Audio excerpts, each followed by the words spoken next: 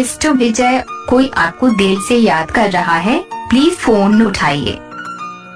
Mister Vijay कोई आपको दिल से याद कर रहा है प्लीज़ फ़ोन उठाइए। मिस्टर विजय कोई आपको दिल से याद कर रहा है प्लीज़ फ़ोन उठाइए।